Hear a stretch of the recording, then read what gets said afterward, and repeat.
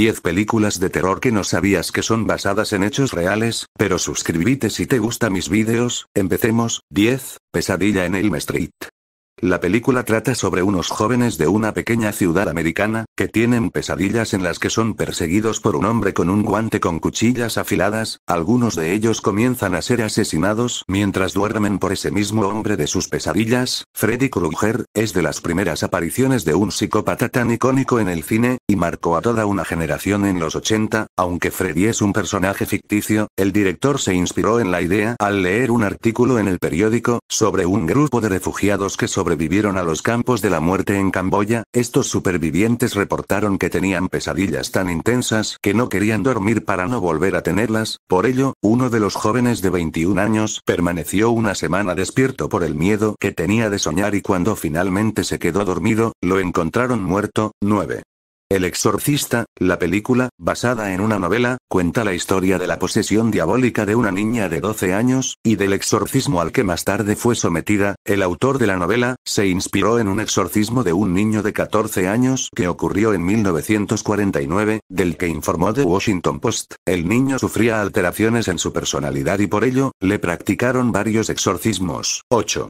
El ente, la protagonista se despierta una noche mientras una presencia invisible la está violando violentamente, aterrorizada por lo que le estaba pasando, y criticada por amigos y familiares que piensan que ha perdido la cabeza, busca ayuda de unos parapsicólogos, los investigadores pronto descubren que hay una fuerza espiritual maligna, responsable de los ataques violentos, la historia de la película está basada en el caso de Doris Bitter, una madre de cuatro hijos que supuestamente sufrió de múltiples violaciones por un ente invisible 7. Los extraños, la película trata sobre una pareja joven que alquilan una casa apartada de la ciudad para pasar unas mini vacaciones, pero después de volver de una fiesta, el mundo de la pareja se derrumba cuando alguien llama a la puerta a las 4 de la mañana y pregunta, ¿está Tamara? El director de la película la vendió como una película basada en hechos reales porque se inspiró en los crímenes cometidos por Charles Manson a finales de la década de los 60, así como en el libro de su vida El Ter Skelter. The True Story of the Manson Murders, de Vincent Bugliosi y Kurt Gentry. 6. Muñeco diabólico. En la película, una madre soltera le regala a su hijo para su cumpleaños un muñeco que está muy de moda, pero poco después descubren que está poseído por un asesino en serie. La película está basada en el caso real de Robert de Dolle, una de las criadas, o esclavas, en esa época, supuestamente experta en vudú, le regaló a un niño pequeño el muñeco, el niño y el muñeco eran inseparables y los padres escuchaban voces cuando jugaba con él, pero todo empezó a empeorar cuando los vecinos les comentaron que veían una sombra recorrer su casa cuando no había nadie, además, el niño culpaba a su muñeco de hacer travesuras, cada vez más violentas, el niño acabó dejando el muñeco en el ático de la casa y años después, la familia que se mudó a la antigua casa encontró al muñeco y volvió a ocurrir lo mismo, hoy en día puedes encontrar al muñeco Robert expuesto en el Museo Unidos, y se recomienda pedirle permiso a la hora de sacarle una foto, 5, Henry.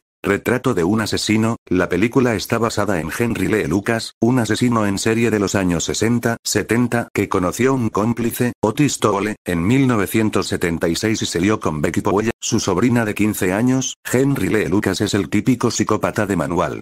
Creció en una familia violenta y desestructurada, lleno de abusos, crueldad y humillación. Fue un niño no deseado y por ello, su madre lo golpeaba, lo vestía como una niña y lo obligaba a verla ejercer de prostituta, su madre también golpeaba a su padre que iba en una silla de ruedas ya que le faltaban las piernas. Las experiencias sexuales de Henry, a los 13 años, fueron con su hermanastro mayor y animales, también violaba ovejas y perros, y desde el primer momento relacionó el sexo con la muerte. Henry estuvo en la prisión y en un psiquiátrico por haber matado a sus padres, unos años después se fue en busca de una familia y se casó con una mujer que tenía dos hijas para poder abusar de ellas, estuvo años abusando de ellas mientras la mujer se iba a trabajar, pero un día se cansó de la rutina sexual y se fue a Miami, donde encontró su inseparable amigo y amante, Otis Toole, un pirómano, caníbal y asesino, juntos mataron, violaron, vivos y ya muertos, y descuartizaron a cientos de personas, empezaron trabajando en la autopista I-35 que cruzaba todo el país, más adelante se integró al grupo Becky Powell, la sobrina de Otis de 15 años y ella se dedicaba de llamar a la puerta de diferentes casas y así, entraban en manada a matar, después de matar que los acogió durante un tiempo, Henry fue arrestado y confesó, varias veces, a 300 250, 600 asesinatos.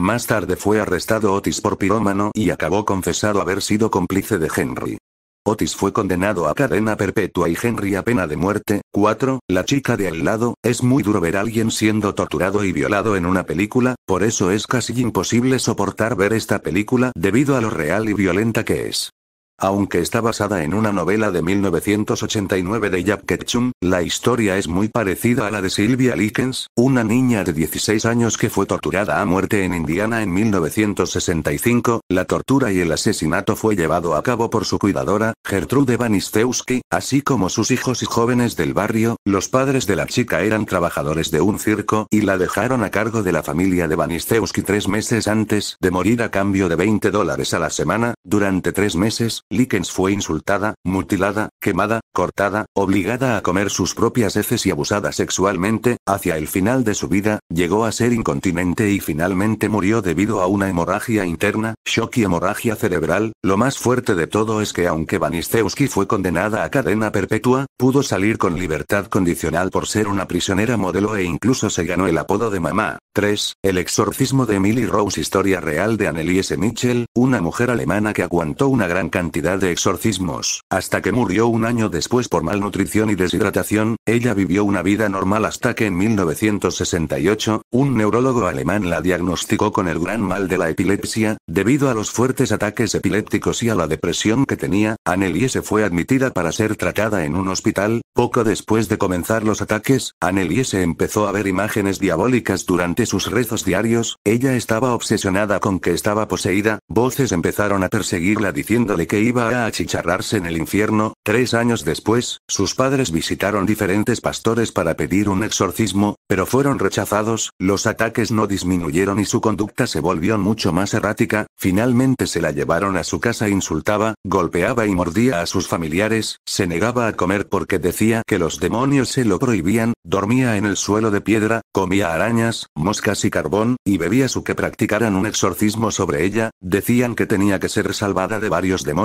incluyendo a Lucifer, Judas Iscariote, Nerón, Caín, Hitler, ¿en serio? Y algunas otras almas atormentadas, estuvieron un año practicándole uno, dos sesiones de exorcismo por semana y se hicieron más de 40 grabaciones durante el proceso, pero por desgracia, no sobrevivió a las sesiones. En la película, el sacerdote católico es denunciado por homicidio negligente, se lleva a cabo una aproximación difuminada de un exorcismo ya que deja que el espectador tome la decisión de si fue todo por consecuencias de paranoia y el extremismo religioso que por un demonio. 2. La casa muda, basada en un crimen de 1944, en un pueblo pequeño de Uruguay, donde se encontraron varios cuerpos de hombres y mujeres sin sus lenguas y ojos, dicen que además la película fue rodada sin ningún tipo de corte. 1. El rito, esta película está basada en la vida de uno de los exorcistas más famosos de Estados Unidos, el padre Gary Thomas,